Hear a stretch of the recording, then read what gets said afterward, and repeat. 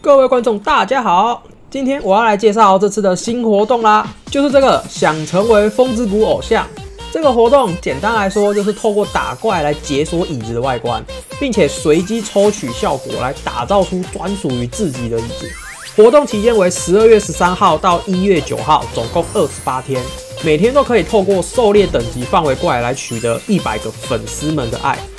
那我实测了一下，在符文诅咒四阶的状态下，打了五百多只怪，连半个爱心都没看到，因此我推断爱心是会吃掉宝的。那我自己两百二十四发的掉宝，体感上是两千五百只左右可以打完一百个爱心，其中只需要消耗三十个爱心就可以提升等级。那第一次升等后，你就可以拿到椅子的雏形了。透过等级可以解锁更多外观，可以解锁的等级如下。三等解锁自己，六等解锁皮皮，以此类推。等到你解锁后，就可以花费十个爱心，随机抽取一个外观。啊，官方也很贴心的附上了几率表。如果想要看造型的话，也可以透过游戏中 UI 右上角的问号来选择想要知道舞台的动作或者边框背景特效种类。只可惜它是图片哦，看不到动画效果。想知道怎么动，还是得自己取得啦。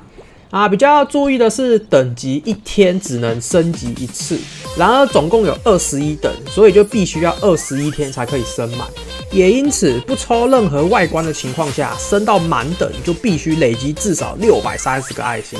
啊，提升等级除了可以变换外观之外，每升一等都可以拿到对应的奖励，其中红字则是商城道具，蓝字是跟椅子有关的。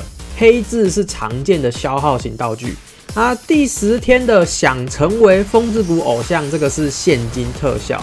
如果有使用卡波特效或者其他职业专属特效的话，可能就要选择一下该使用哪个了。这种特效是不可以叠加的。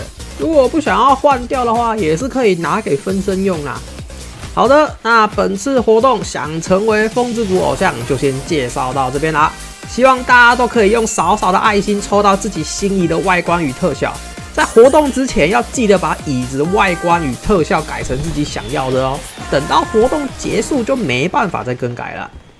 好的，那今天就先到这边啦，感谢各位的收看，我们下集再见，拜拜。